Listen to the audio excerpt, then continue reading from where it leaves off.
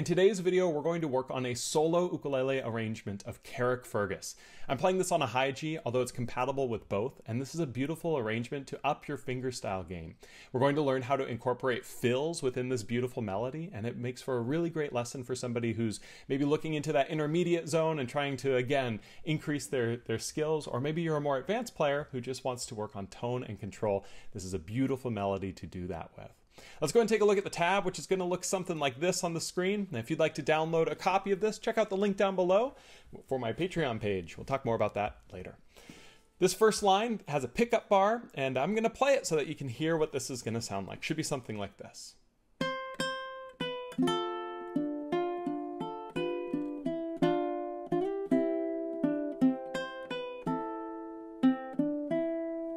So now what you should immediately notice with this tab is that it's got a bunch of these parentheses in there. All those parentheses notes, those are optional notes. We'll be talking about that as we go through, but those are your filler notes, and that's just a way to differentiate them. As far as the technique that I'm using here, I'm using finger picking. I like to use four finger picking quite a lot. You can use three finger picking, but really any fingerstyle technique is going to work really well. I've actually got a link to a video right here where you can learn how to finger pick in four minutes. So if you haven't done that before, I highly suggest checking it out. Let's go ahead and dive into how to play this tune. We're to start here with the third fret on the A string. I like to use my ring finger here. I'm to pluck that. I'm to pluck that note again.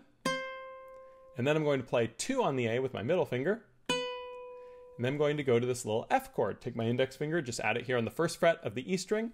I'm going to pluck my C, E, and A together. I can use three fingers, my thumb, index, and middle, or I can use my index, middle, and ring depending on if I'm doing four finger picking or three finger.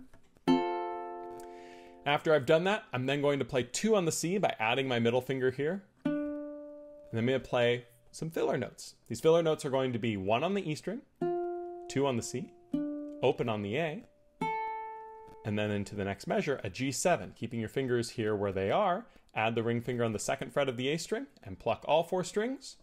Or you can take your thumb and strum through all four. Both of those work, whatever you like the sound of more. But you notice those notes are in parentheses, so we want to play them softer so that we can create this nice dynamic and depth to our arrangement. Then we play the two on the C, which is already there. Open on the E, taking the index finger off. Put the index back on, play the two on the C and the one on the E together. And then this might be my favorite part of the whole song. I'm going to pluck my C and E strings together, and I'm going to slide them up to four on the C and three on the E. So you can see on the tab, there's a little lines there. That means to slide. You're going to pluck them where they were, which is at two and one, and immediately slide them to four and three. Trick to doing a good slide, make sure that you increase the pressure ever so slightly as you're moving the fingers up the fretboard. That helps maintain the sustain and vibration of the string.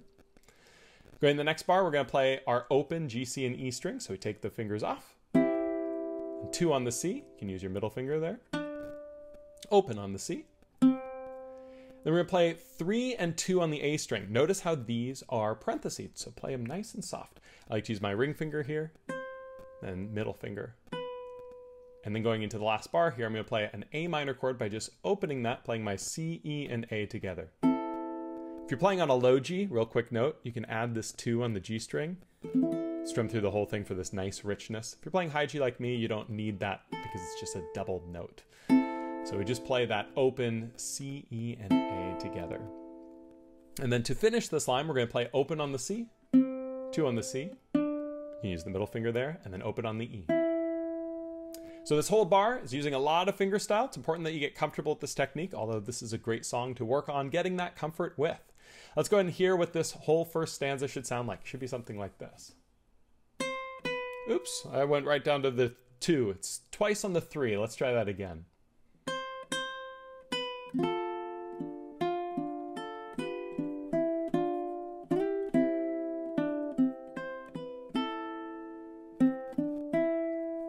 Quick note here this count is in what we call 6 8. So you should feel this sort of feeling of 1, 2, 3, 4, 5, 6. 1, 2, 3, 4, 5, 6. It feels like triplets going because that's how these compound time signatures work. If that's confusing, it's okay. Just think that you should be feeling kind of a little bit of a sway as you're playing this.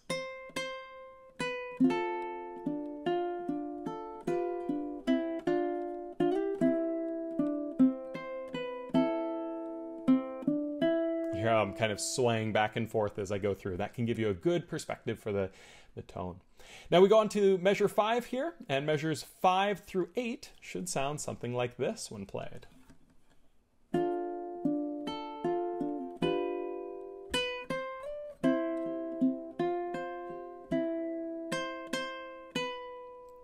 So the way that we're going to play this line is we're going to play a D minor chord.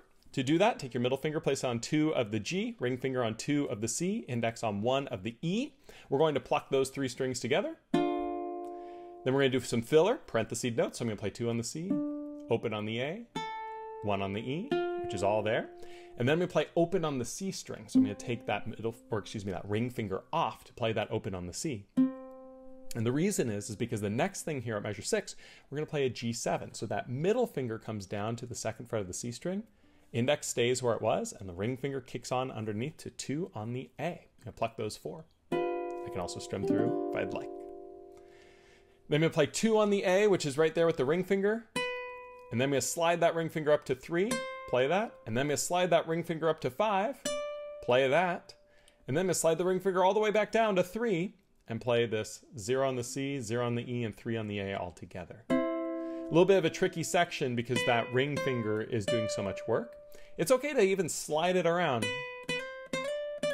if you'd like. Can add a little bit more texture to your arrangement. But after we've played that C chord, the 0 on the C, 0 on the E, 3 on the A on measure 7, we're to do some filler. Pluck the G, C, then the E string with the first fret, so we add this index finger right here. Then we play the 3 on the A, which we're already there, 0 on the G. And then we're going to take that index off, play 0 on the C, 0 on the E together. Then we're going to play 3 on the A, 3 on the A again, and then 2 on the A, which you'll notice is the same thing as the beginning of the tune, because this is a repeat. At this point, we actually repeat back to measure 1. We'll talk more about that in just a moment. So let's go ahead and hear what measures 5, 6, 7, 8 should sound like. And I'll actually do the repeat there so that you can hear how it goes back into measure 1. And we play 1, 2, 3, 4, 5, 6, 7. Then we go on to the second ending. More on that in just a moment. 5, 6, 7, 8 should sound like this.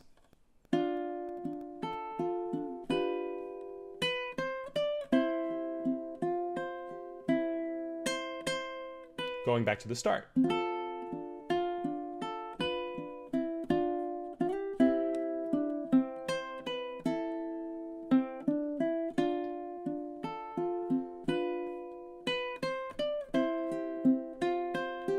Notice right here at measure 7, I just stopped on that open G. Instead of going on to measure 8 here, I skip ahead and go to now measure 9. That is the second ending. So when you do the repeat, you follow those little double lines with the dots. You go all the way back to where you see other double lines and dots. Then you go through and you play the second ending for the second time. And you'll notice measure 9 starts by playing the open C as filler, and then it's going to play three on the E string twice. So where did we come from? Well, we just came from this chord, right? We play open on the C, and then we're going to take this middle finger and place it here on the third fret of the E string. And we're to play that twice, and we're to play three on the A with the ring. And then we're going to play two on the A with our middle finger here. It's really important to use the middle finger. You'll see why in just a moment. But that measure nine looks something like that, using the right fingers, making sure we're using that middle finger there.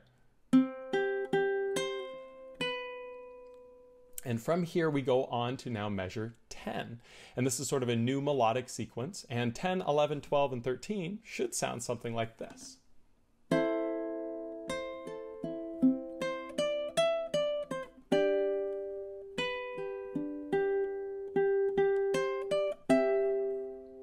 I kind of got ahead of myself a little bit there because that chord sounds so beautiful after 13. But let's go ahead and break down this 10, 11, 12, and 13. We're going to start with an A minor chord. So you remember when I told you to use the middle finger here on the second fret of the A string? The reason for that is to set up this here on measure 10. For this A minor, we're going to add our ring finger to the third fret of the A string, and our index finger is going to come up to the second fret of the G string.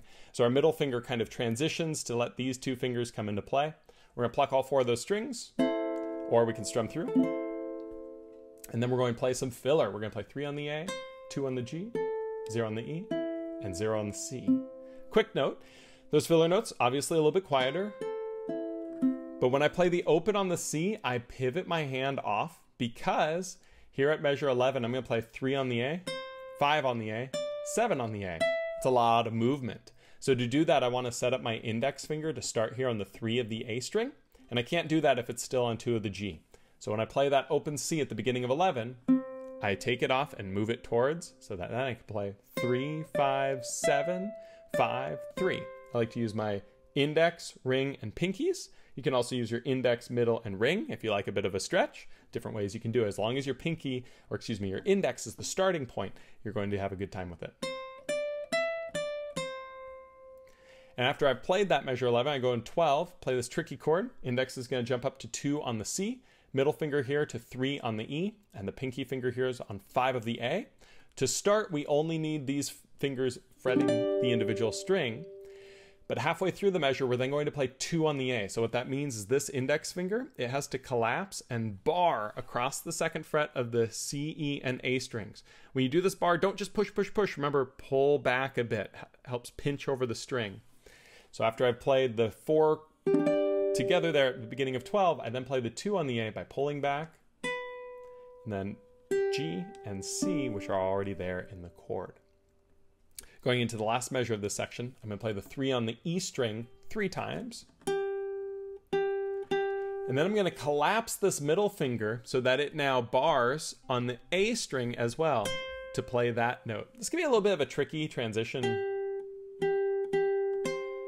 so what can help is before you play the first three, just do the bar. Just because then it sets you up. If you need to use other fingers, it's totally fine. Find what works for you. As long as you're getting that three on the A, you're gonna be good to go.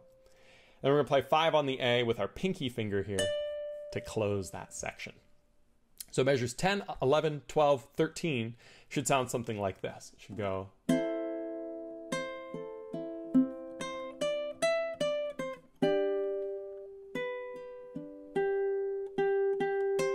Now going right into the next section, this part at 14, going all the way through 17 should look and sound like this.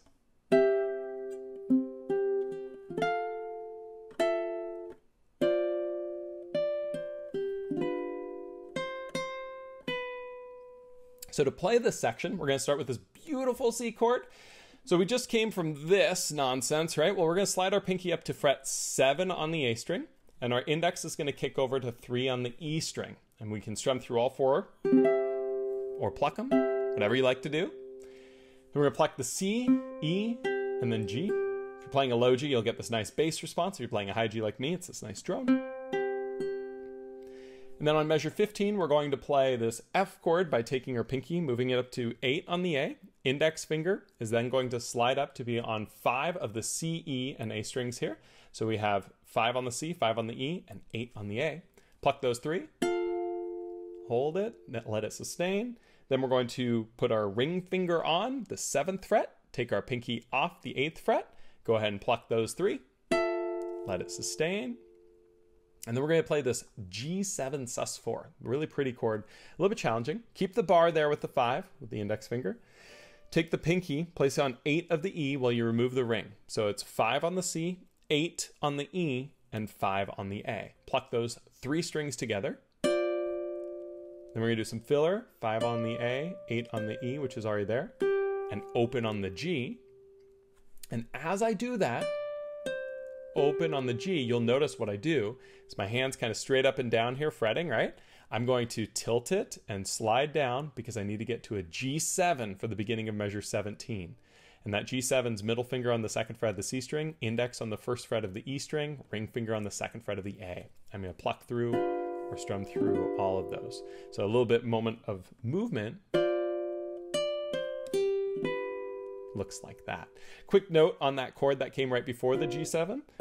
Sometimes you might get a buzz here. It's usually the pinky that's the culprit. Make sure you're nice and articulate with the angle there and that you're not getting soft and having that A string get touched by it. it can take some practice and manipulation.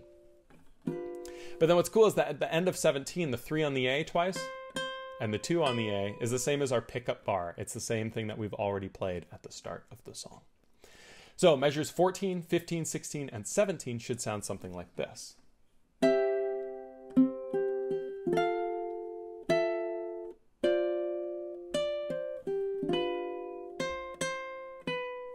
And here's what's wonderful about this. As we go on now to measures 18 through 21, they should sound like this.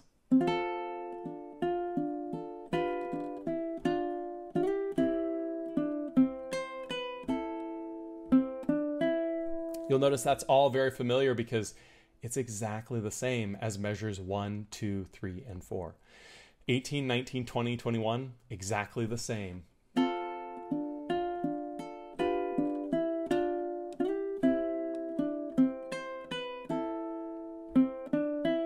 as what we played on 1 through 4. And something neat here is as we go to the next section, a lot of similarities. We go now to 22 through the end. It should sound something like this.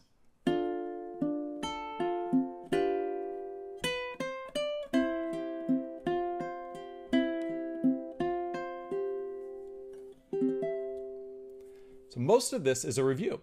We're going to start with that same D minor that we played on measure 5. Middle finger, ring finger, index finger, exactly the same. Same filler part. Going to the G7 that we did at 6. That ring finger line on 2, 3, 5 that we did on measure 6. And then we go to that's exactly the same as measure 7. 24 and 7, exactly the same. And then it is a little bit different here at 25.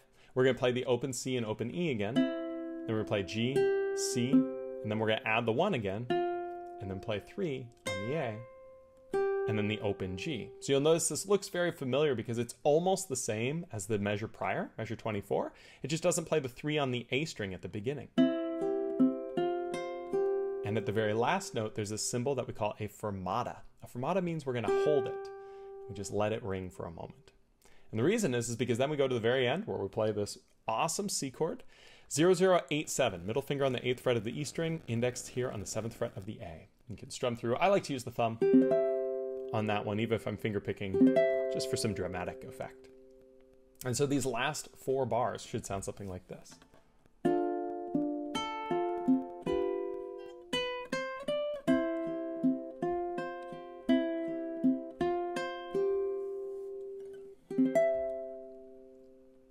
You have it, bringing the camera back up to me now.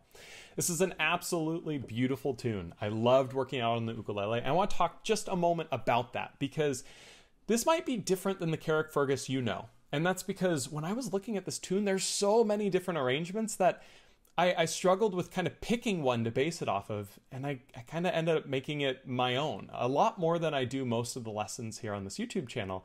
And that's just because I had so much fun working with it. In fact, it's not usually done in 6-8. There are some that I see that are done in 6-8, but I picked that time signature because I felt it really helped it flow on the ukulele and it made it very intuitive to play.